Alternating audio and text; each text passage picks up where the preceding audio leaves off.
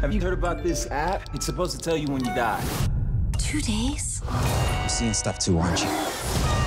The devil is coming for you. And he's gonna take you to a place much worse than death.